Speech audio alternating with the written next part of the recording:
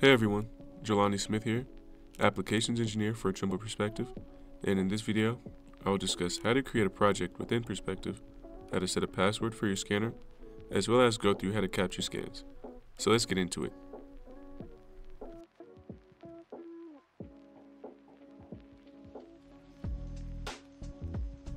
Okay, so first and foremost, you need to create a project. To do this in perspective, click on the New button in the upper right corner. Or, if this is your first time opening the application, click Create New, which is in the middle of the screen. First, choose a name for your project. Next, you have the option to designate a picture to represent the project if you'd like. Additionally, the index option lets you choose which station you would like to begin your project. And lastly, there's the option of project description. Now once you are ready, click Create. Next, connect to your instrument. To do this, click on the Wi-Fi icon, and you should see a list of available devices to connect to. Ensure that the serial number depicted on the screen matches the one on the instrument, and press Connect. Now, to set a password for your instrument, go into the top left corner and click the icon depicting your scanner, Wi-Fi, and battery life. Next, click the Wi-Fi icon, and you should see the option to change the network password. Click Change and set your desired password. The scan settings allow you to choose the length and time of your scans, and allow you to toggle between standard and high-speed capture, with the difference being the number of points captured, the range, and the spacing between points. Additionally, there is an option to capture images alongside your scans. HDR images are available as well, alongside other options to account for the weather or lighting you might be scanning in. Once you have configured your settings to your specific workflow, click Start Scan and watch magic happen.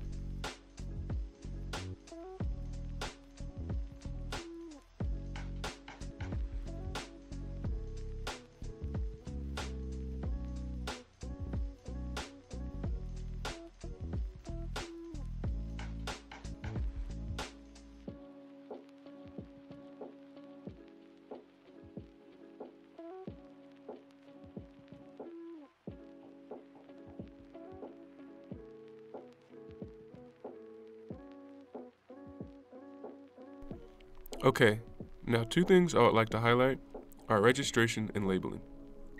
Typically, for registration, your scans will automatically register to the last station completed or to whichever station you have selected as last.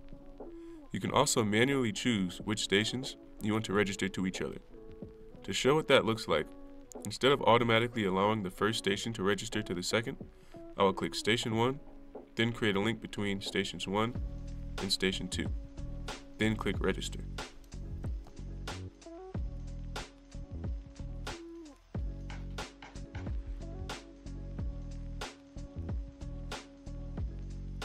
Additionally, to register stations to each other manually, open the split view mode and click two areas that are present in each station to tie together the stations manually.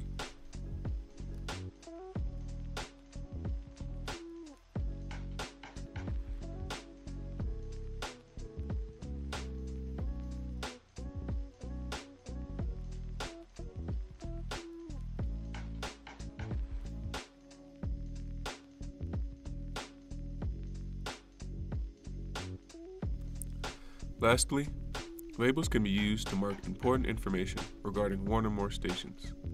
To show what this looks like, I'll create a label titled First Two Scans to illustrate that these two stations were the first two that were captured. And now I'm able to view just those stations labeled.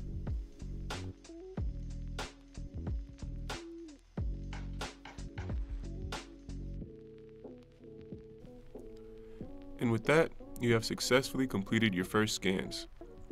Now I thank you all for tuning in, and I hope that this was super informative.